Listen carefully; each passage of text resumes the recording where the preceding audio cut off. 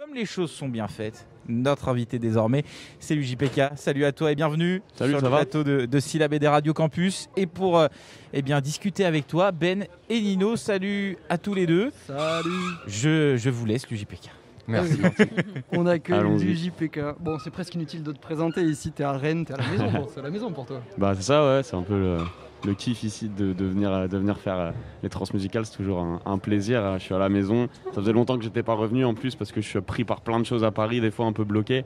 Et quand on peut mélanger euh, entre guillemets les travails, les concerts et rester deux semaines ici, ça fait vraiment plaisir. Bah, ça fait partie du métier, mais on va quand même retracer ton parcours. Donc, tu commences avec Columbine en 2014, avec Faudacé, la fine équipe, Shaman, Lorenzo, Hiro, Sully. C'est trois albums, trois gros succès. Donc, Clubbing for Columbine, Enfant Terrible, Adieu Bientôt. Ça vous permet de vous faire vraiment une place sur le rap français. Euh, ben, Adieu Bientôt, ça marque la fin de Columbine, qui est officialisée en début 2021. Mais toi, t'attends pas 2021 pour commencer tes projets solo. Tu commences avec les sorties d'albums Luigi et PK en 2020 et euh, avec le dernier album, donc Montagne Russe, sorti il y a même pas un mois, le 5 novembre. C'est ça, premier album Montagne Russe. Et un truc qui m'a vraiment marqué directement dans ton album, c'est le tutoiement. C'est un truc que tu emploies énormément dans beaucoup, de, dans beaucoup de tes morceaux. Donc si je peux donner quelques exemples, dans Poupée Ruse, je sais que tu viens d'en faire. Dans Pas à ma place, je me sens bien sur ton euh, je voudrais être ailleurs, je voudrais quand même être ailleurs. Dans 06, je sais que je te connais, je t'ai déjà vu quelque part. J'aime bien cette technique parce que ça implique un peu l'auditeur comme s'il était la troisième personne dans un dialogue. Du coup, je voulais te demander, quand tu tutoies et quand tu écris, est-ce que tu penses à quelqu'un en particulier? Est-ce que tu visualises la personne à qui tu parles? C'est un peu la, différence euh, entre ce que je faisais en groupe et ce que je fais maintenant, c'est que maintenant les thématiques sont un peu plus euh, claires, j'ai envie de dire, et quand justement j'utilise ce procédé, oui, il y a une histoire derrière et un, quelque chose de plus, euh, de plus précis, j'ai envie de dire, là où avant euh, peut-être que je le faisais aussi. C'est marrant, c'est la première fois qu'on me fait cette réflexion, mais c'est vrai que c'est pas, pas dénué de sens. Euh, tu vois, dans, dans 06, ça s'adresse à quelqu'un, ça raconte une histoire. Poupée russe à une autre personne, mais il y a quand même toujours un profil et quelqu'un qui existe même réellement. Tu vois, genre, y a tout cet album, il a été construit sur des histoires personnelles vécues. Donc, donc, euh, donc c'est ça. Là où avant, c'était peut-être plus un peu un puzzle de, de phrases et d'idées euh, en groupe. Tu vois, quand, quand, quand j'étais sous Columbine. Et, euh, et là, dans cette différence, il y a ça. Après, c'est vrai, euh, ouais, je sais pas, il y a un truc un peu. euh, Enfin, j'aime bien aussi. ouais, ça, ça crée aussi un contact aussi direct dans les ouais. concerts et tout.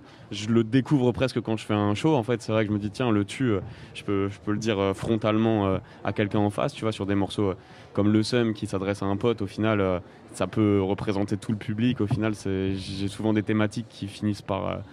Enfin, que je constate qui touchent pas mal les gens et qui peuvent se reconnaître dedans. Donc, du coup. euh, c'est vrai que c'est- comme ça, tu vois, c'est même pas calculé quoi. Non, mais en tout cas, ça donne vraiment du relief, du relief aux chansons, ça fait très plaisir. Ok, mon mortel. Et moi, du coup, je voulais savoir pourquoi Montagne Russe, euh, cet album euh, Pourquoi le nom Montagne Russe? Pourquoi Montagne Russe? Bah, Parce que je trouvais que c'était une bonne métaphore euh, de l'album, euh, de, de- de ce que j'ai vécu en le faisant.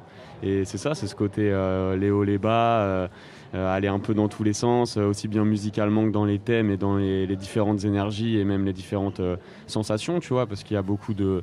Il y a, y a de, la, il y a de la mélancolie. Euh, c'est aussi la mélancolie qui peut t'inspirer une, euh, fête foraine, en fait, quand tu retournes dedans, il y a quelque chose d'un peu... euh, que, que tu es 25 ou euh, 12 ans, un peu, euh, toujours, euh, tu retrouves un peu ton âme d'enfant et c'est quelque chose qui est assez présent dans ma musique.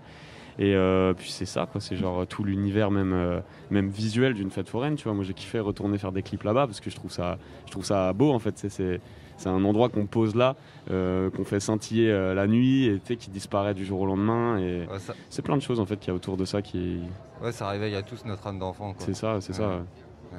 D'ailleurs, en parlant des bas dans les montagnes russes, euh, je voulais te parler de ta chanson Putain d'époque qui m'a vraiment marqué parce que c'est vrai que tu as assez habitué ton public à parler des- de tes problèmes perso, de tes démons intérieurs, en tout cas des, des choses très intimes. Et dans Putain d'époque, euh, bah, je trouve que c'est un morceau qui dénonce énormément des choses qui ont plus trait au bien commun.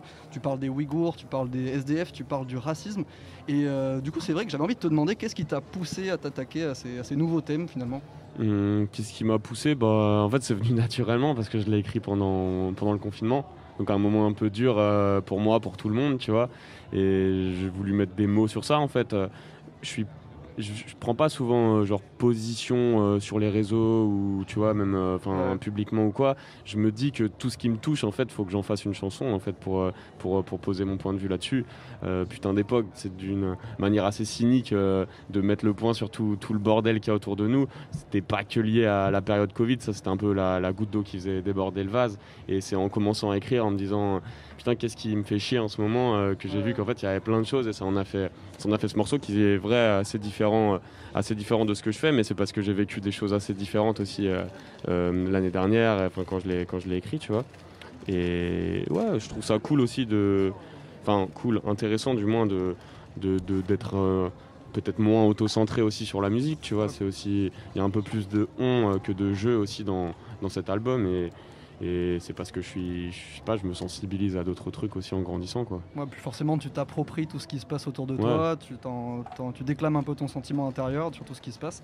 Et euh, une autre question que j'avais envie de te poser, c'est sur ta gestion de l'autotune. Donc bon, l'autotune maintenant dans le rap, on peut vraiment dire que c'est un instrument à part entière. Mhm. Ça permet de donner d'autres dimensions à- aux chansons. Tout à l'heure, tu parlais du sum, et c'est encore une chanson qui m'a interrogé parce qu'il y a beaucoup, beaucoup moins d'autotune sur cette chanson. Il y en a Et pas. du coup, euh, bah, il y en a, bon, ok, il y en a même pas. Ouais, je pense qu'il y en avait à plus, peine. ouais. mais- Et euh, je voulais te demander du coup, qu'est-ce qui pèse dans la balance quand tu décides de choisir l'autotune? Genre pour toi, c'est un instrument. Qu'est-ce que tu veux donner quand tu décides de mettre de l'autotune ou non? Ben, quand j'ai commencé à rapper, je le mettais à fond euh, sans réfléchir à chaque fois parce que je kiffe la couleur que ça amène. Après, c'est juste que j'ai fait énormément de morceaux avec et que là où avant ça amenait peut-être une patte assez différente, je me dis qu'avec le temps, c'est tellement démocratisé que tu en retrouves même presque des fois chez des euh, chanteurs de pop et enfin tu vois ou même de, chansons. qui vont s'y essayer maintenant que je me dis que c'est enfin il y a- même plus un côté un peu subversif là-dedans Ouais, et, ouais, carrément. et c'est une couleur que que je maîtrise beaucoup tu vois vraiment euh, je suis un professionnel du logiciel maintenant, euh, même sur scène, euh, c'est moi qui configure tous mes autotunes, mais Ah ouais. c'est vrai que j'en mets beaucoup moins parce que, parce que déjà j'ai fait des cours de chant, parce que je trouve que sur certains morceaux, ça peut parfois créer une distance qui casse un peu euh, quelque chose, tu vois. Sur d'autres, ça va carrément aller dans le, dans le sens du morceau euh, et dans, dans- ça va aller avec la musicalité globale. Mais euh, quand je juge que c'est pas nécessaire, je me permets de l'enlever. Et, et comme je te dis, j'ai fait, ouais, fait des cours de chant et tout, donc tu vois, ça, ça Ouais, s'entend normal, moins, ça. s'entend- Ouais. beaucoup plus. Mais je pensais, en fait, quand je, quand je réfléchissais à tout ça par rapport à l'autotune, je pensais à Rémi, la chanson que vous avez sortie avec Columbine sur Ouais, l'album effectivement, Enfant Terrible. ouais.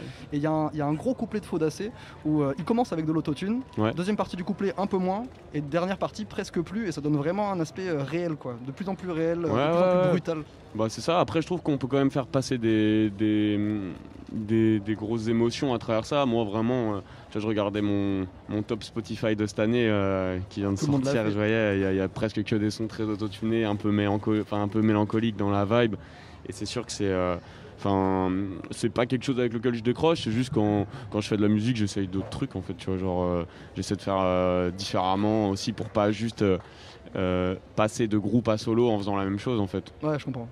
Ben, si tu as une, une dernière question pour, euh, pour le Ouais. JPK. Ah, J'en avais plusieurs dernières questions. Euh, laquelle que je vais choisir du coup? Euh, Alors moi, petite question intéressante pour les gens.